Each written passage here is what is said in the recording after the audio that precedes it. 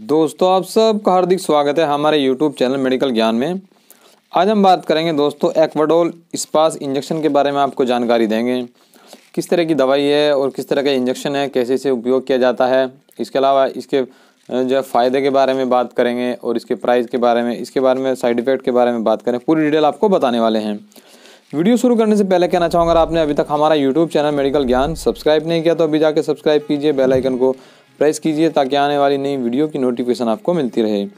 तो एक्वाडोल स्पास इंजेक्शन जो है, दोस्तों, आपने, मैंने कुछ दिन पहले रिव्यू किया था एक इंजेक्शन का, उसका नाम था एक्वाडोल इंजेक्शन खाली एक्वाडोल तो उसके अंदर क्या था? डाई साइक्लो डाइक्लोफेनक सोडियम ये वाला साल्ट उसके अंदर था, ये दर्द का साल्ट होता है, सिर्फ़ पेट के दर्द को छोड़कर सभी तरह के दर्द में ये काम करता है डाइक्लोफेनक सोडियम ये किसी भी तरह का चोट का दर्द हो मोच का दर्द हो, किसी भी तरह का जख्म का दर्द हो एक्सीडेंटल दर्द हो या किसी भी तरह की परेशानी हो, सर में दर्द हो, पीठ में दर्द हो, कमर में दर्द हो, कहीं पर भी दर्द हो, पेट को छोड़कर ये सभी बीमारियों में डाइक्लोफेनक सोडियम ज़्यादातर काम करता है। पेट में भी वर्क करता है, लेकिन ये इतना अच्छा वर्क नहीं करता। मेन जो इसका, जो ये कंटेंट है, जो ये काम करता है, दर्द में किसी भी तरह के बदन दर्द में कहीं पर भी आपके दर्द हो सकता है। तो अब ये एक्वाडोल के साथ में इस्पास लगा दिया है। इस पास क्या, इससे क्या मतलब यानी डाई साइक्लोमाइन इसके अंदर ऐड कर दिया यानी अब इसके अंदर दो सॉल्ट हो गए हैं डाइक्लोफेनक सोडियम और डाई डाईसाइक्लोमाइन हाइड्रोक्लोराइड। तो ये डबल साल्ट के साथ में इंजेक्शन बन गया है। डाई साइक्लोमाइन का क्या काम है वो मैं बता देता हूँ आपको। यह पेट दर्द में काम में लाई जाने वाली दवाई है। तो इसकी आप टेबलेट भी आपको डाइसाइक्लोमाइन दी जाती है। मैप्टल इस्पास के अलावा दूसरी एक टेबलेट आती है।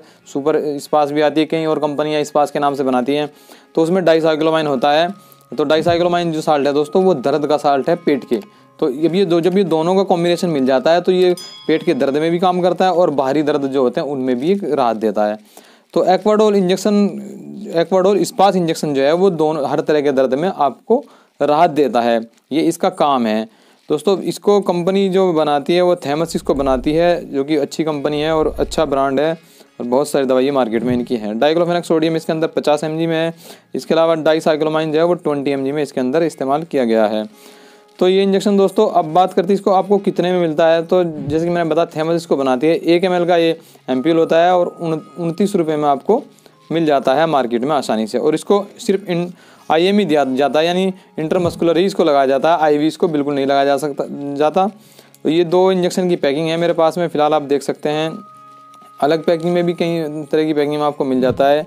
तो मेरे पास ये, जो दो इंजेक्शन की पैकिंग है, इसकी तो बात करते हैं इसके साइड इफ़ेक्ट के बारे में। इसका कोई मेजर खास साइड इफ़ेक्ट आपको देखने को नहीं मिलेगा इतना, लेकिन फिर भी लगने के बाद में आपको थोड़ी बहुत चक्कर, उल्टी वगैरह वोमिटिंग वगैरह या चक्कते रेसेस वगैरह की शिकायत हो सकती है। अगर ऐसी कोई दिक्कत होती है, पहली बात तो आप किसी भी इंजेक्शन को या किसी भी मेडिसिन को जो है, बगैर अपने डॉक्टर की सलाह के बिल्कुल भी इस्तेमाल ना करें। अपने डॉक्टर से सलाह लेकर या उनसे ही लगवाएँ तो बेहतर आपके लिए रहेगा। लेकिन फिर भी आप अगर इसको लगा रहे हैं तो आपको कोई दिक्कत हो जाती है तो आप तुरंत अपने डॉक्टर से एक बार ज़रूर सलाह लें, ज़रूर उनसे एक बार मिलें। दोस्तों डाईसाइक्लोमाइन और डाइक्लोफेनक सोडियम, ये दोनों अच्छे साल्ट हैं दर्द के। तो दोस्तों, जाना आपने एक्वाडोल स्पास इंजेक्शन के बारे में। वीडियो हमारा पसंद आया तो हमारे वीडियो को लाइक और शेयर ज़रूर कीजिएगा। नई वीडियो देखने हमारे चैनल मेडिकल ज्ञान को सब्सक्राइब कर लीजिए।